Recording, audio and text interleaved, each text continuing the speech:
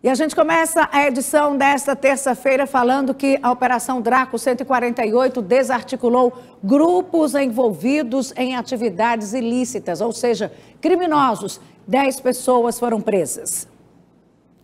Ao todo, 10 pessoas foram presas durante a operação nos bairros Santa Maria, Leonel Brizola, Monte Verde, Parque Brasil, Monte Alegre e Aroeiras, todos na região da Zona Norte de Teresina operação extremamente exitosa. Alguns dos indivíduos integram uma facção criminosa, né, PCC, outros do Bondes 40. Priorizamos a Zona Norte justamente em razão de, dos últimos acontecimentos ali, de alguns homicídios dentre os presos.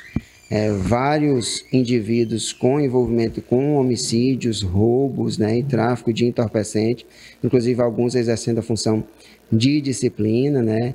Durante a ação, os policiais do Draco apreenderam drogas, munições, celulares e cinco armas de fogo, dentre elas três de fabricação caseira.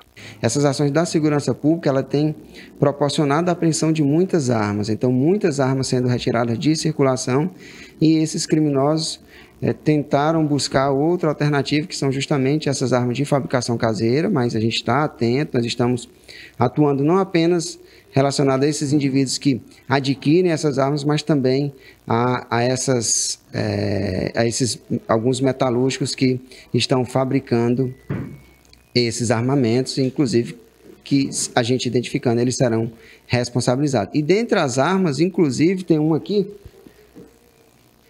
que é uma arma caseira, mas o indivíduo que é membro do PCC, já era investigado nosso, ele tatuou aqui na arma tanto o símbolo da facção, o 1533 que faz referência à facção criminosa, PCC, a ordem alfabética, e também as iniciais da organização criminosa. Então não tenho dúvida de que essa arma ela estava sendo utilizada para práticas de crimes e crimes de interesse da própria facção, então foi retirada de circulação, o indivíduo foi preso, está sendo autuado em flagrante delito e eu tenho certeza que ele será encaminhado ao sistema penitenciário.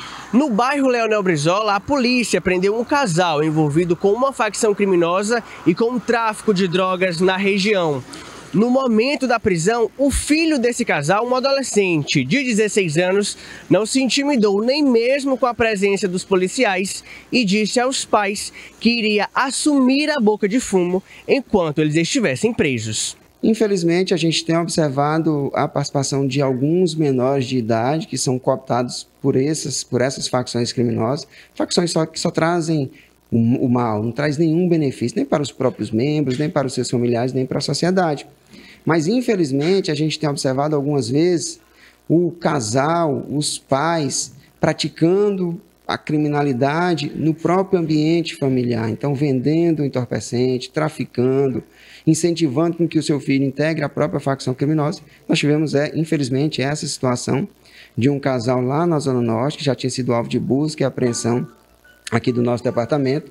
Foi novamente alvo de uma medida judicial, conseguimos identificar entorpecente lá com o casal, inclusive no guarda-roupa do próprio casal. E quando a gente estava conduzindo o pai e a mãe, um menor rebelde, né, relatou para os pais que eles não precisavam se preocupar, porque a partir de então ele iria assumir essa boca de fumo. Mas eu asseguro, tanto para ele como para a sociedade piauiense, que isso não vai acontecer. E com certeza, nos próprios dias, nós iremos retornar novamente ao mesmo endereço para cumprir outra medida judicial.